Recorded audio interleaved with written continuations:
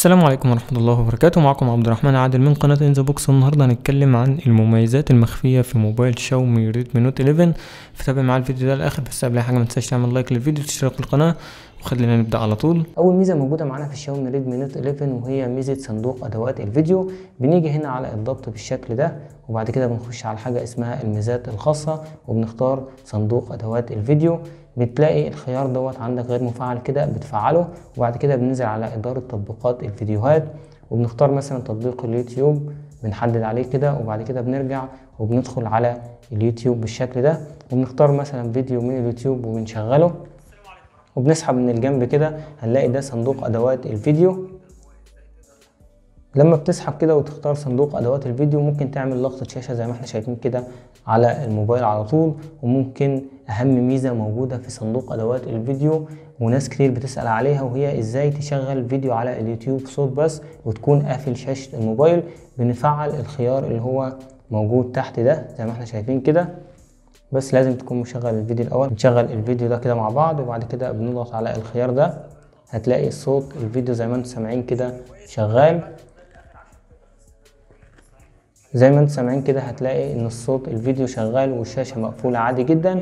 فالميزة دي مهمة لكل الناس اللي هي بتحب تقفل اليوتيوب وتشغله صوت بس. تاني ميزة موجودة معانا وهي ميزة النوافذ المنبثقة. بنيجي كده وبنخش على ال recent apps بنلاقي حاجة هنا اسمها النوافذ المنبثقة بنضغط عليها وبنختار مثلا جوجل بلاي زي ما إحنا شايفين كده. هتلاقي إن هو طلعه لك على الشاشة الرئيسية في نافذة عائمة تتحكم فيها أو ممكن تشغل تطبيقين اتنين مع بعض. يعني مثلا خلينا نختار تطبيق تاني مثلا الانستجرام بالشكل ده.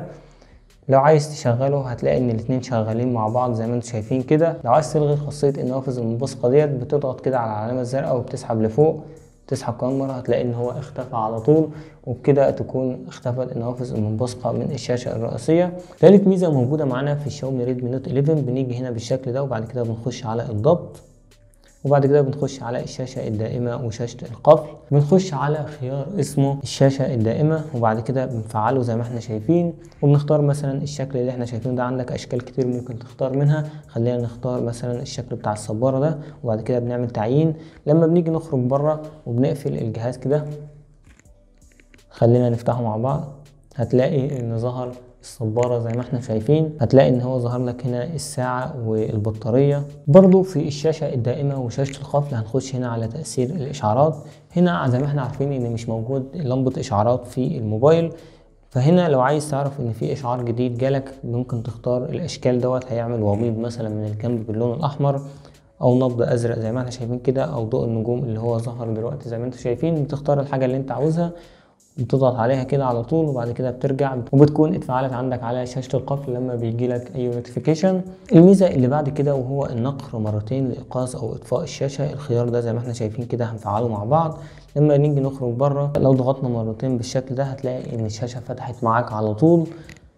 ولو ضغطنا كمان مرتين هتلاقي إن هو قفل الشاشة بدون أي مشاكل. الميزة اللي موجودة معانا برضو في شاشة القفل هنيجي هنا على مكان ساعة شاشة القفل بالشكل ده هتلاقي إن ممكن تختار أي شكل من أشكال الساعات اللي تكون موجودة على شاشة القفل. مثلا خلينا نختار الشكل ده وموجود تحتها معلومات المالك على شاشة القفل. ممكن تضيف أي معلومات خاصة بيك مثلا تكتب اسمك أو رقم تليفونك بحيث إن الموبايل لو ضاع وحد مثلا عايز يوصل لك أو يديك الموبايل بتلاقي إن هو مكتوب رقم التليفون على شاشة القفل بحيث إن هو يقدر يوصل لك بكل سهولة. وبعد كده بنعمل حسنا. الميزة اللي موجودة معانا بعد كده وهي بنخش برضو على الإشعارات وبعد كده بنخش على الضبط وبنختار الشاشة الرئيسية. لما بنخش على الشاشة الرئيسية بنختار هنا الشاشة الرئيسية بتلاقي إنها موجودة بالوضع الكلاسيكي. لا أنا أنصحك إنك تحط درج التطبيقات ده على طول. هنا بيخلي لك مثلا كل فئة من التطبيقات مع بعض يعني مثلا تطبيقات ال social media مع بعض. هنا أكتر تطبيقات أنت بتستخدمها بتلاقي إن هو حاططها لك في الصف اللي هو أول صف موجود عندك في التطبيقات. خلينا نشوف مع بعض دلوقتي. هنا زي ما إحنا شايفين كده لو سحبنا لفوق هتلاقي التطبيقات موجودة معاك ومنظمة بشكل كامل. يعني مثلا زي ما أنتم شايفين دلوقتي هو حاطط لي التطبيقات اللي أنا بستخدمها بشكل مستمر هنا في الأول. لو سحبنا كده من الشمال أو اليمين هنلاقي هنا تطبيقات التواصل. هنا تطبيقات الترفيه هنا تطبيقات التصوير هنا تطبيقات اللي هي الضبط والأدوات كلها. فهنا بصراحة الدرج التطبيقات اللي في شركه شاومي مميز جدا. فأنصحك إنك تغير على طول من الوضع الكلاسيكي لوضع مع درج التطبيقات. الميزة اللي موجودة بعد كده وهي ميزة التنقل في النظام.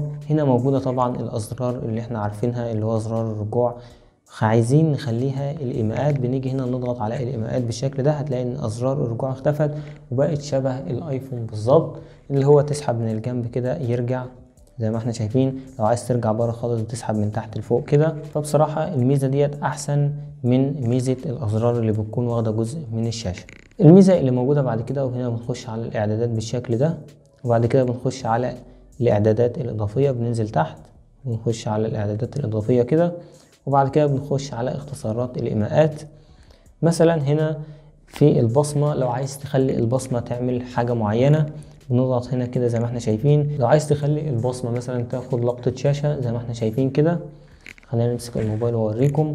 زي ما إحنا شايفين كده لو جيت ضغطت على البصمة مرتين بالشكل ده هتلاقي إن هو خد لقطة شاشة على طول. فهنا الميزة دي كويسة جدا تقدر إنك تخصص أي حاجة أنت عاوزها.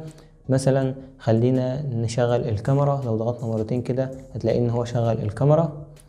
لو جينا مثلا اخترنا حاجة تانية مثلا الآلة الحاسبة وضغطنا مرتين هتلاقي إن هو فتح لك الآلة الحاسبة على طول. الميزة اللي موجودة بعد كده وهي من أهم الميزات اللي موجودة في شركة شاومي وهي قفل التطبيقات من الجهاز نفسه.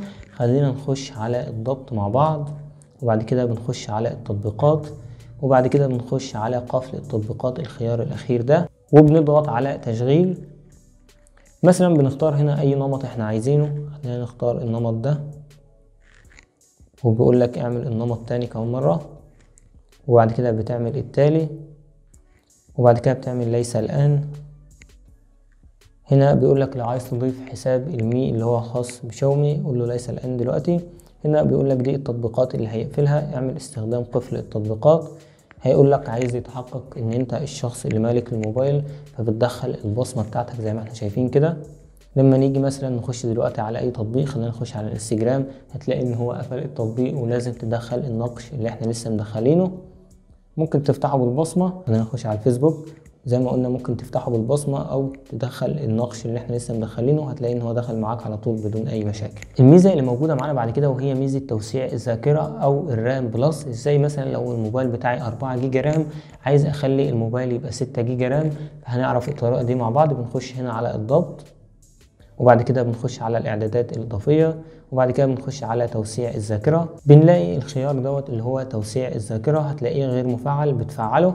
وبعد كده بيعمل إعادة تشغيل للموبايل وبكده بيكون عندك 2 gigabyte RAM زيادة عن ال 4 جيجا اللي موجود عندك في الموبايل أو لو الموبايل 6 giga RAM بيبقى الموبايل 8 giga RAM. حاجة أخيرة ومهمة لازم تفعلها على الموبايل أول لما بتفتح الموبايل من العلبة بتلاقي إن الموبايل موجود على وضع ال 60 هرتز مش وضع ال 90 هرتز. بنيجي هنا على الضبط بالشكل ده وبعد كده بنخش على العرض وبعد كده بنيجي هنا على معدل التحديث هتلاقيه إن هو موجود على ال 60 هرتز اللي هو القياسي. بتخليه على وضع ال 90 هرتز عشان تلاقي سلاسة أكتر في الحركة واستخدام الموبايل بشكل عام. الميزة اللي موجودة بعد كده وهي ميزة مركز الإشعارات والتحكم. لو سحبنا الإشعارات بالشكل ده هنلاقي إن دي شكل الإشعارات القديمة بتاعت شركة شاومي. عايزين نغير الشكل ده ونخليه الشكل الجديد. بنيجي هنا على الضبط وبعد كده بنخش على الإشعارات ومركز التحكم وبنختار نمط مركز التحكم بالشكل ده وبنختار الإصدار الجديد زي ما إحنا شايفين كده. هنيجي نخرج بره ونشوف الشكل اتغير للشكل الجديد ولا لأ. لو سحبنا زي ما إحنا شايفين وجينا سحبنا بالجنب كده هنلاقي الاشعارات شكلها اتغير. لو سحبنا لتحت هتلاقي عندك كل الإضافات موجودة. فبصراحة مركز الاشعارات الجديد أحسن من القديم. هنا لو سحبنا كده هتلاقي هنا موجود الاشعارات أو ال notification اللي بتجيلك. بس ده كان كل حاجة موجودة معانا في المميزات المخفية في الشاومي ريدمي نوت 11 إن شاء الله ممكن نعمل جزء تاني لو لقينا تفاعل على الفيديو دوت. ما تنساش بقى تعمل like للفيديو وتشترك في القناة وتفعل زر الجرس عشان يوصلك كل جديد. ولو حابب تستفسر عن أي حاجة اكتبها لي في ال comment. وإن شاء الله هرد عليك أول بأول. أشوفكم في فيديو جديد والسلام عليكم ورحمة الله وبركاته.